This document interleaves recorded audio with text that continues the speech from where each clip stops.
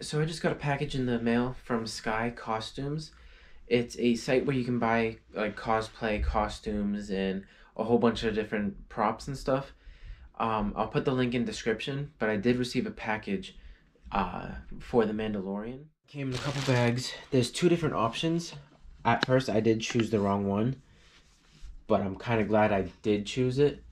Uh, there's two options. The first one is just the flight suit, so like his shirt and pants that he wears underneath all the Beskar armor and everything. And then the other package or other option is the same clothing but with all the extra pieces like gloves, uh, the leather leather pieces like I made for my Mandalorian. Uh, here are some of the extra pieces. Like this is his belt that goes around his waist. There's there's a couple other leather pieces, like for example this one. This is for his one of his shoulders. That's for the other shoulder.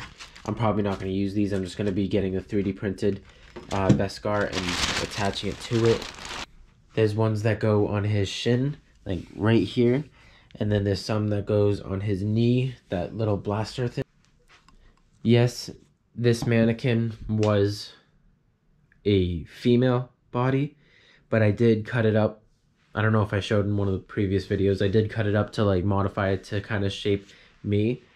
Where, for example, this is one of the parts that go on the chest. Uh, I, I cut it off. I threw the other one away, but then I also thought of it after. I can use this as a bowl for like holding all the epoxy that I, I've used and stuff. Um, but this is what the Mando suit looks like. So this is the flight suit. It, it feels like a good quality material.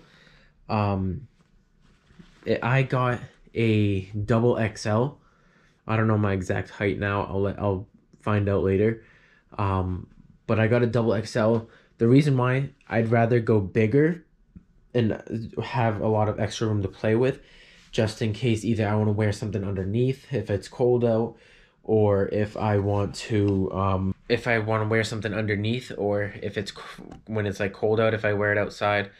Or another thing is the reason why I would go big because if I say I ordered say I ordered an extra large and I, it gets in but there's only a little bit of room to play with like I won't be able to move my arms as much I won't be able to like like bend over or kneel down on the ground like it might be too tight.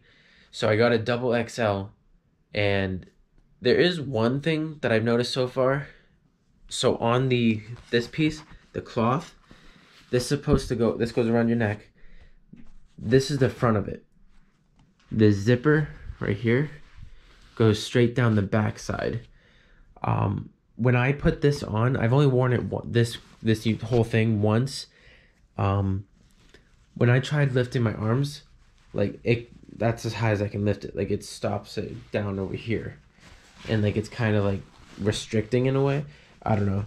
But when I put it on backwards, so like this zipper was down the front right here and it was just folded over like a collar.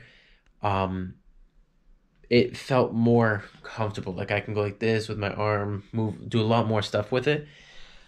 Um this is just like a cushion. I'm probably going to keep this just how it looks, but I'm still going to attach probably the Beskar to it and stuff. It did come with Velcro right here. And those pieces that I showed you earlier that go on the shoulder has Velcro on as well. So it, it sticks to it. Um, this is the Mandalorian leather pieces that I built and like or modified and put on for mine. The one that they came with is right there. It is a, it does look almost the same color.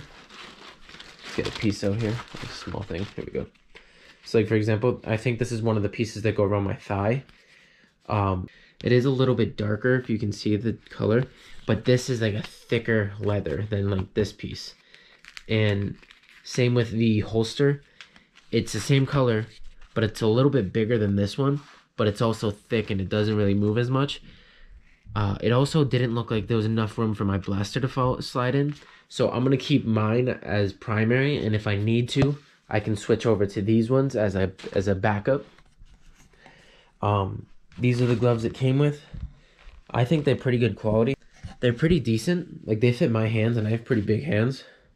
Um, it it's not really tight around the fingers. It's a little bit, but it hold it actually holds on. It's it's leather, as you can hear.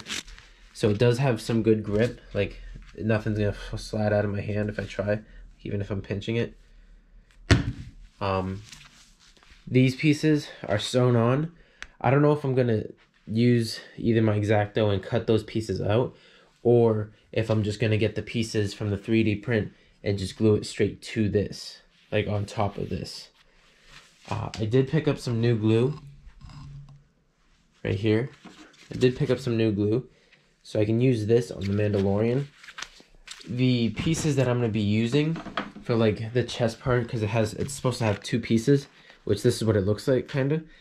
This piece and the chest, I want to have be able to move so I can like lean over and stuff. So I'm gonna have them separate and have either elastic like rubber band type thing in the back of it so it can like bend and like spring kind of in a way. Um, other than that, I really like how this is coming out. And now I am just waiting on the rest of the prints. And the rest of the prints are the helmet, the shoulder pads, the wrist parts, the chest pieces, the knees, the jetpack, which would go in the back here. I'll probably have the jetpack be able to have like those clips. Kinda. I, I don't have any nearby. But like kinda like something like this. But like those plastic ones that like car seats and stuff. Just like I push the sides and it pops out. The only reason is because I'm gonna have to get this this leather piece on and then the jetpack on top of it so this isn't showing over the jetpack. So this is all the espresso brown spray paint with I did three coats of the brown let that dry and then I did three coats on the clear coat. I'll put the links in the description. You guys can see me. Hi. Um so all this right here is all going to be like that graphite kind of like not chrome but like a dark bright gray. Um, this is all going to be the same color. Now what I'm doing is I'm going to be taping and taping off from where my hand is right here to right here I'm going to be taping all this off including this and then this whole piece in the middle right here is going to begin the same treatment as what this piece did and I do like how it has like a nice let me make it a little bit brighter. There you go. It's a nice crisp stop all the way around. Didn't have, I had barely any bleed through. So, I don't know if I showed you guys where I left off last, but I did paint this piece silver, which I used this stuff, the rub and buff. Um, and I did it to this piece as well, and this piece I did go over this in, this entire thing right here with the black primer spray paint again just to get rid of like the, the color parts that were like when I sanded it it got a little bit of white on it uh, I'm taping off right here with painter's tape all the way around and what I'm going to be doing next is using the antique gold and painting these pieces gold these these like poles right here are gold but they're kind they kind of like a standout different gold than what this is going to look like. This is going to look like bright gold, kind of yellow, but this is going to look like like antique gold. I don't know, it, it just has like that old kind of golden look. Once those are done, I think the circle is gold as well. Uh, but like under here, I won't be able to reach under there with anything. So I did pick up these uh, paintbrushes, not sponsored. Uh, they were just cheap, couple cheap ones that I got uh, the grocery store. And I'm going to try using those to like get underneath there because I did have trouble when I was painting like this, like in here, this crack right there. Like inside here because I didn't have anything to go in there. So what I did is I took newspaper. I kind of like doubled it up though. Dipped it in the, the paint and I had rolled rounded it like that. And I just went like this and went back and forth. All right, so here's a little update. Um, I left off, I had to do the gold accents on the rifle and do some clear coats. I did get a, little bit carried away and I didn't record any of it, but I did finish doing that part. Um, but there was an accident this morning. I accidentally bumped the rifle and it fell and it broke in a couple different spots.